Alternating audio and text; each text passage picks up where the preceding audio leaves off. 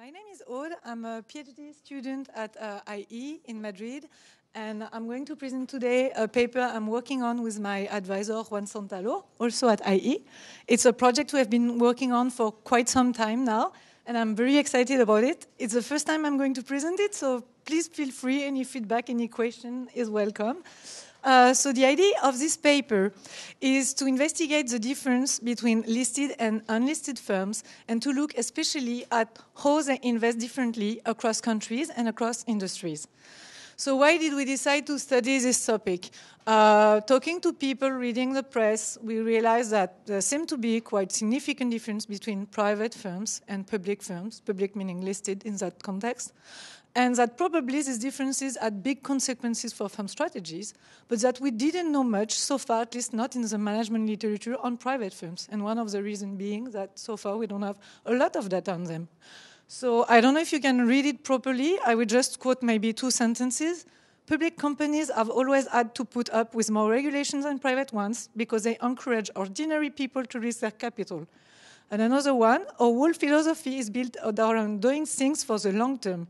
It just becomes a lot harder to manage if you are public. You can't pick your shareholders. So that was really the starting point. And um, so we, we, we, read the literature. There is some work on private firms uh, in the business family business, uh, in the family business uh, literature mostly, or in entrepreneurship, but they all study kind of sub subparts of private firms, not private firms as a whole. And there is also uh, some, a lot of work in finance literature, but it's mostly about why firms go, go, public, but not necessarily about what happens next and what impact this ownership, ownership form has on uh, firm strategies after they have been public. So that was the idea. Uh, so we tried to investigate uh, what environments are more favorable to listed firms versus private firms. And we try to look at both institutions, uh, some cultural variables, and uh, there was also some industrial variables, but we, we, only have one here.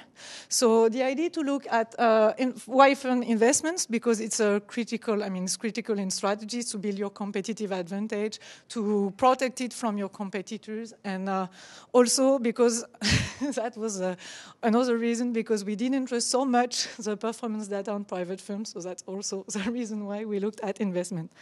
So to make the link with uh, today's conference topic, uh, for a while there were not so much studies about uh, differences in ownership types and how institutions impact that because uh, ownership types and institutions were supposed to converge in the long term, kind of. So maybe there would not be so many differences. And even if, if there were going to be differences between private and public, then um, they would not differ across countries. But guess what? I mean, I think it has been pretty clear since yesterday that it didn't happen. So, so that's why uh, we try to look at um, the differences in uh, institutions and their impact on private and public firms. So the idea was to start with differences between private and public firms. So we identified three of them based on the literature. The first one is ownership structure and uh, regulation. Ownership structure, it's known that there is uh, uh, more differences be between control and uh, management, and more discrepancy, sorry, between control and management, meaning interest between managers and shareholders diverge more in public companies than in private ones. And you have a larger number of shareholders, so it's more difficult to monitor manager and everything. So, uh, so based on this, uh, government passed a lot of regulations, different regulations across country to kind of protect shareholders of the public firms. So that was the first uh, difference. And the second difference was time horizon. So uh, you have, it, again, you have uh, some empirical literature showing that you should be more short-term oriented in a public firm because you have the pressure from shareholder, because you have pressure from institutional shareholders in, in, um, in some cases, uh, and also because you have a um, long-term commitment, which is uh, stronger in private firms, because if you divest, of course, you divest a large share and the price is going to drop. So that's it. And the last um, differences is cost of capital, because you can access a, a larger pool of uh, shareholders, uh, and also because you will be able to reduce uh, uh information asymmetry. You will have a, a cheaper cost of capital in public firms at least you are supposed to. And, uh, and the idea is that you will have uh, institutions, uh, culture, and industries shaping this, and, in, and together they will influence private and public investment. So we have a few hypotheses. I will, we will, I will go to them into more detail. Um, sorry, how, how much time do I have? Seven minutes, so I will go very quickly. Uh, okay, so the baseline hypothesis is mostly the cost of capital hypothesis. That listed, firms are supposed to invest more than their private counterparts. First, moderation is that um, investments of uh, public firms will also depend on managers' discretion for two reasons. First, you have the agency theory perspective, saying that managers have a tendency to overinvest. They, because they want to run larger firm, it will get them a higher pay, that kind of, uh, that kind of benefits. So uh, if you don't put the proper mechanism into place, they will tend to overinvest. The second one is in listed firm, you also have more regulation to follow. You need to disclose. You need a lot of, uh, regulation. You have more transparency, etc. So it's more difficult for you to do a quick investment. So there are some investment opportunities you might miss. So for these two reasons, we believe that when you put regulation in place in a country which limits the managerial discretion of managers, then listed firms will tend to invest less than their private counterparts. So that's one. Um, next one is more uh, about, again, an argument on cost of capital and uh, protecting minority shareholders so, meaning making sure, putting regulation into place to make sure that they won't be expropriated by majority shareholders, will help them be confident in investing in the firm, and the firm will have access to a cheaper capital. And again, it will help it invest more. And in that case, on the contrary, it will tend to invest more than uh, its private counterparts. Then um, there is also the effect of uh, cultural values.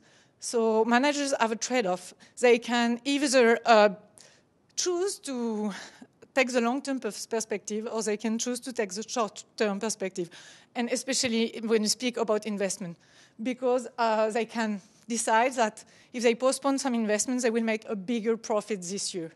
And mm, what, what happens next? That's it. so, so short-termism, is, is, is, again, there is some empirical literature showing that it's associated with restricted investments. So we use some uh, cultural value from Hofstede to show that some societies which are more long-term oriented will tend to invest more. But this would be counterbalanced in public firms uh, that would still have this pressure from, from the market, from the stock market, and will, will not be able to follow this trend. So in general, firms will invest more in long-term oriented societies, but to a lesser extent for private firms, or public firms, sorry. And this one I will, I mean, it's about industry. I don't think it's the focus today. so, okay, so what we did, we used um, information collected by Bureau van Dijk, which is a Belgian firm. So they collect information on private firms. So what we did is we matched, actually, for each listed firm we identified in our sample across the world, a similar private firm in same country, same industry, and we try, and, and then once identified, we looked at all their investment were evolving. And so we were able to compare more than 6,000 firms in 14 countries and to look at how they were, they were investing. So, uh, so that's uh, dependent variable is a firm investment in uh, fixed assets because I mean I don't know I don't know if I should go into detail, but uh, maybe very briefly, we didn't want any recurrent activity into that, so we didn't look at total asset, fixed asset instead. We have a dummy to identify listed firm. We use an index developed by La Porta et al. to measure managerial discretion, and we use for that um, a measure of shareholders' rights, like if they can vote easily, if they can vote by proxy, how much capital do they need to, to call for a shareholder meeting, that kind of things. And we say, okay, if they have a lot of right, automatically it reduces the managerial discretion. So that's on measure. To protect uh, minority shareholders, we use an index developed by Djankov and also La Porta in 2008, uh, which has been used quite a lot actually in the, in the literature to measure the protection of minority shareholders of listed firms against expropriation by majority shareholders. Uh, society long-term orientation, we, we used a measure developed by Hofstede and uh, referring to when um, when uh, culture is more long-term oriented, for example, Japan would be very long-term oriented, US would be short, very short-term oriented, and that's it. And we control for firm age, profitability, size, and debt. Uh, so we okay. So we got support for our hypothesis. One issue that was raised so was that uh, okay, maybe it's not uh, being listed that uh, means that you invest more or less. Maybe you become listed because you wanted to invest in the first place. So to control for that, we used an instrument and we looked uh, at, uh, we used a dummy uh, whether the firm we were looking at was in the city of the main stock market of the country or not. And so using this, which is correlated with being listed or not, but which should not be correlated to firm investment, we, we could control for that. And uh, interestingly, our results still hold, except the main effect of being listed, so it's actually quite interesting. Uh, intended contribution. Um, as we said, we, we don't know much in the management literature on private firms, and it's a bit of a pity because it's the bulk of the economy in the end. I mean, it's uh, and and in addition, you have more and more firms in major economies going private. So we need to know. I mean, what, what does it change? And uh, like for example, even recently, Dell went private.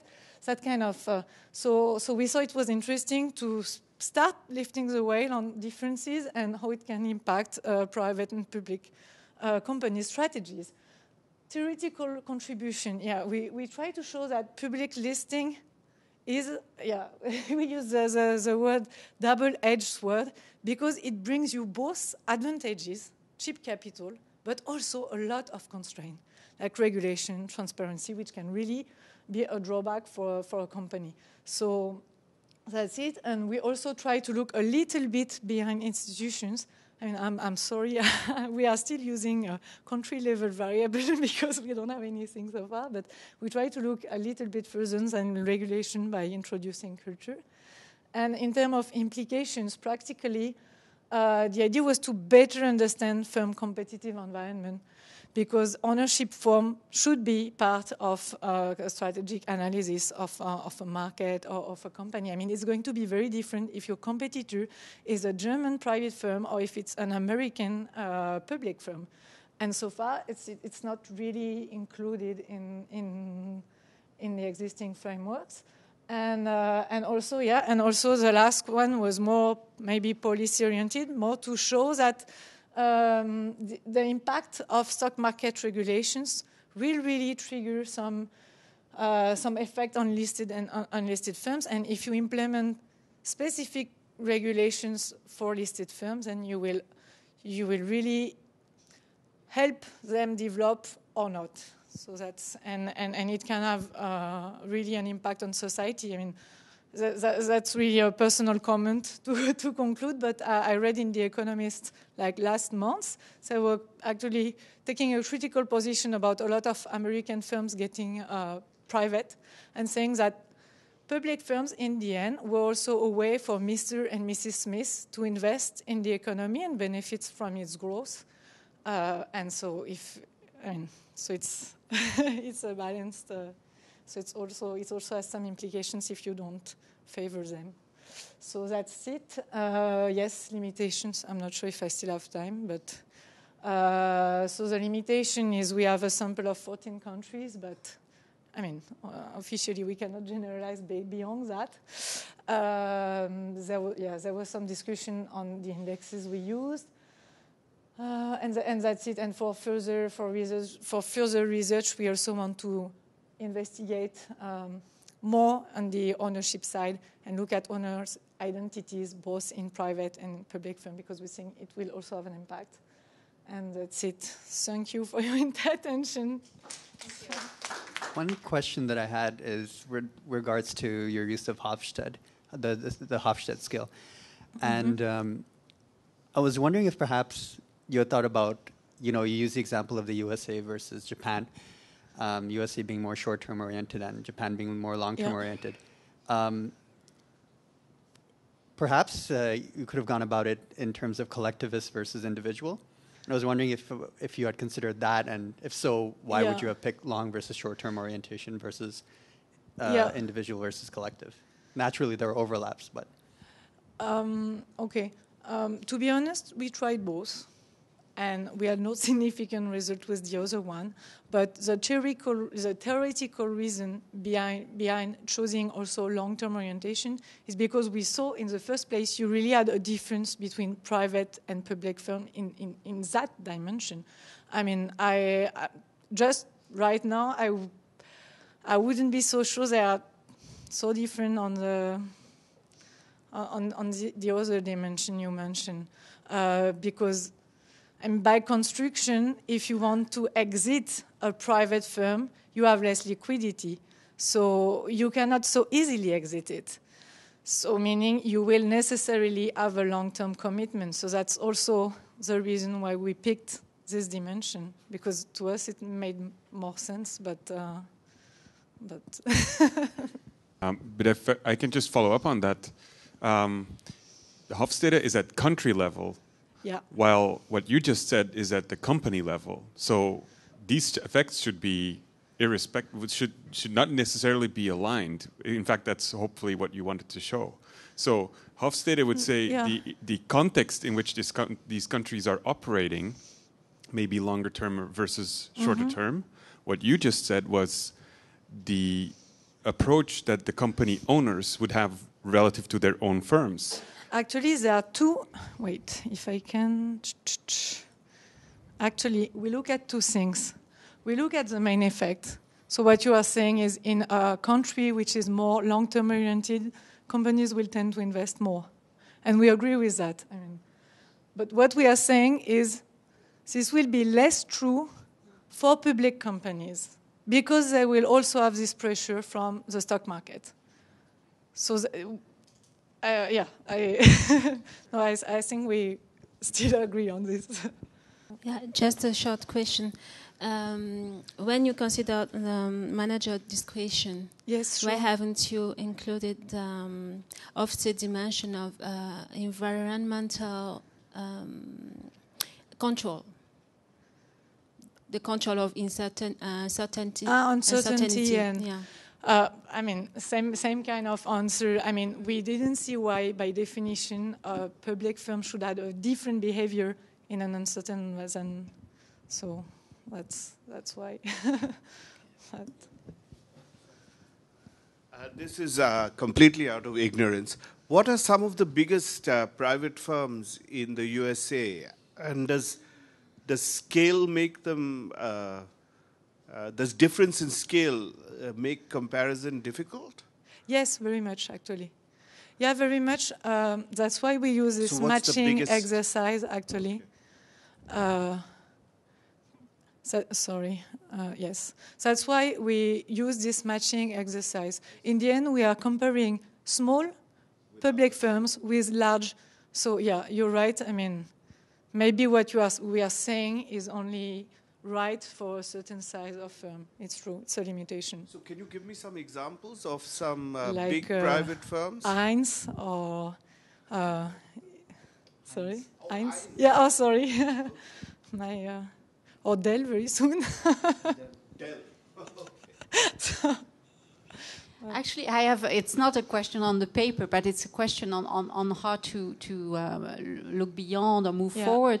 Yeah. And I'm wondering whether actually you could not uh, learn a lot by having a focus on the dynamics of, of the move from public to private or from private to public. So, what generates the decisions for a firm to go Yeah. one way or the other?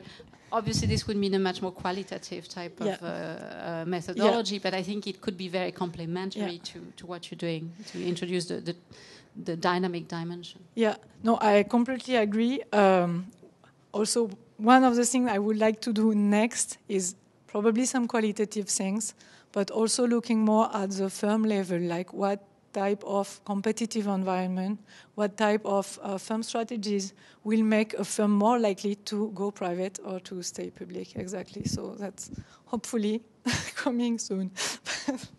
I'll ask a question.